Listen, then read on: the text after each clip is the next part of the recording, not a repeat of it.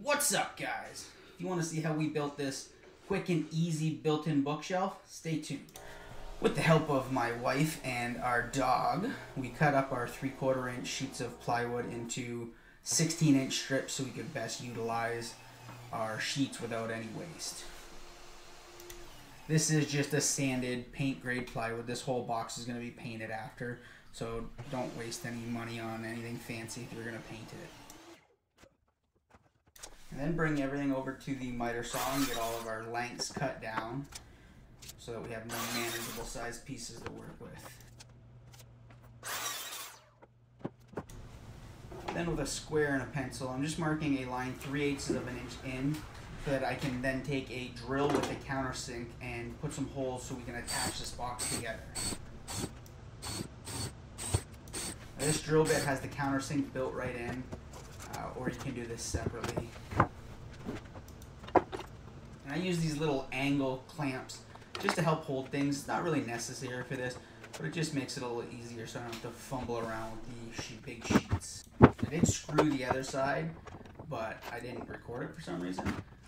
So we're just doing the same process, adding these little brackets just to help flush everything up, help hold everything together. Then I'm going to put a screw on either end, making sure those boards are nice and flush. Flipped it over to its side, to add a couple of screws, not all the way in, and then lay it on its back just so I can reach my arm inside there and get this box nice and flushed up. Just makes it a little easier this way as opposed to trying to do it with the right side. And then we're back. More 3 8 lines, more self-drilling, a lot more of the same stuff.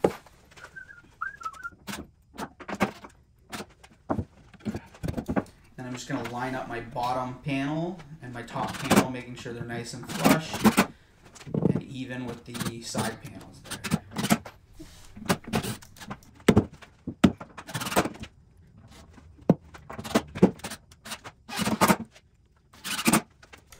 just trying to figure out now what is the best layout for the shelves, what's going to give us the best openings. So I decided on three shelves, so now I'm just doing a little math in my head, which never turns out great, so I went somewhere else and did actual math. And then we're just marking the centers of our shelves so we can again drill some more countersunk holes so that they're perfectly in the center of those shelves.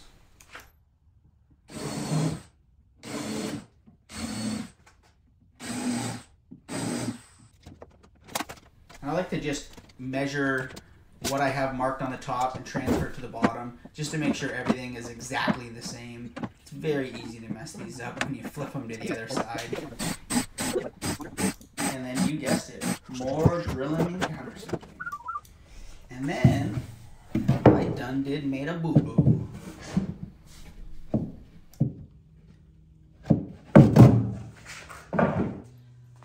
Mistakes were definitely made. They were supposed to be 14 and a quarter, but I made them 14. So then we have to recut them, and these ones fit nice and tight. Tight like a toy gun. So again, we're just tagging a screw on the top, and I'm using that square to make sure the shelf is nice and square and level once we're done.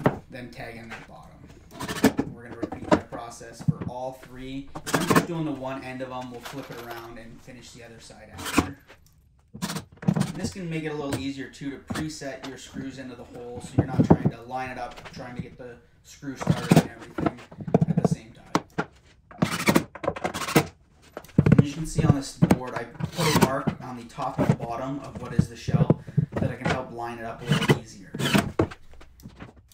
And then we just flip it over and we're adding a second set of screws. I still check to make sure they're square, but if that other side was good, these ones should automatically go to square.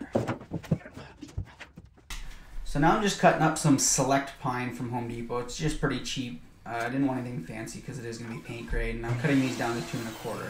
You can use MDF, but the durability on it's a little lower, and this is going in a rental unit, so wanted something that was going to stand up a little bit better than MDF.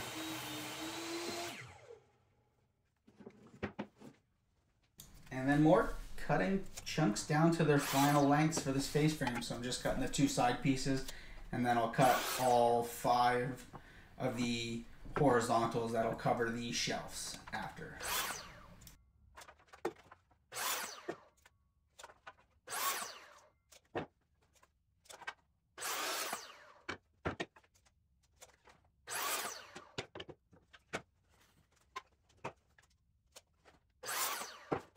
And my favorite way to put a face frame together is with pocket holes. Some people don't like pocket holes, but they really are great for something like this. Uh, so I've got this little portable jig. You can get nicer ones, but I bring this out to site uh, as well, so it's nice to have something portable. Probably should get a nicer one, but this one works really nicely, and it's super cheap. So if you're not using it a ton, these are definitely a great option.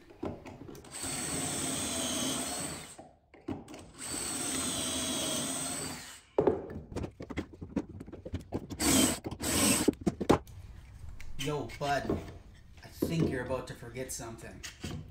Yeah, that blue and gray thing on the counter. You need that,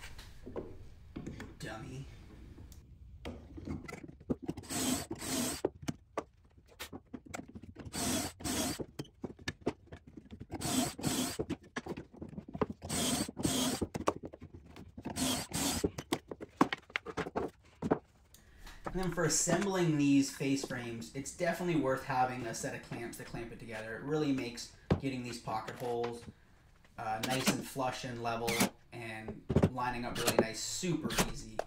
Uh, you can do it without them, but it definitely makes it a lot harder. I'll just put in the top and bottom for now, and then after we'll transfer the whole face frame onto our box. So we can use the shelves on the box to mark out exactly where the face frames for all those centers need to go. It's a lot easier than taking the tape measure out and trying to measure them. It's just a lot easier to make mistakes that way. I just take a square, put it down that shelf, gives me a, a spot to mark on that face frame. They turn out perfect every time like this.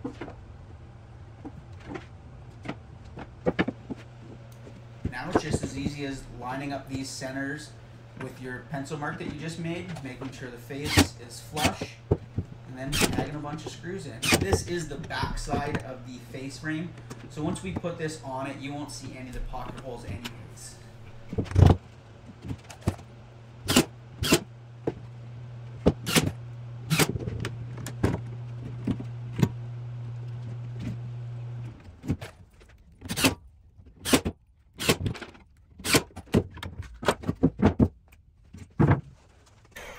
Just gonna nail this on with an 18 gauge brad nailer, but you can definitely put pocket holes into that box and have some hidden pocket holes. But since this is paint grade, these are just gonna get filled and get painted after, so you're never gonna see them.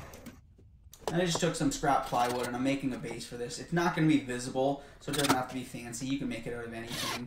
Uh, just something to prop that up, get it flush with the height of our face frame now. And then I just hit the whole thing with either 120 or 180, whatever you got sitting around works. Just get any roughness, any dings, any pencil marks off of it uh, before you bring it out to site.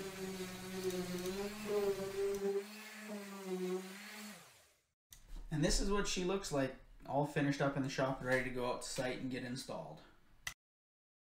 And then she's all installed and ready for the customer to come in here, prime, paint it, and finish her off. Now, if you want to see some more of our cool builds that we got coming up, some stuff like this bad boy right here. This is going to be a beautiful computer desk. That by is almost done. Or something like this. This is a nice end table project. We got videos dropping for those very soon. You can also follow us on Instagram at Timber Revival Studios. And if you want to see some more of our home renovation side of everything, you can check out our other company, Atlas Home Improvements, where we do full bathroom renovations, tile install, and all sorts of cool stuff around people's houses. Now, the real question is, what am I doing right now? Just poking at it like a Neanderthal. Cool stuff coming on. Uh, just stay tuned for that. Apparently, I don't know how to look at a camera. I'm not sure what's going on. Where do I even look? Right here? Okay, that's enough out of you. You're done.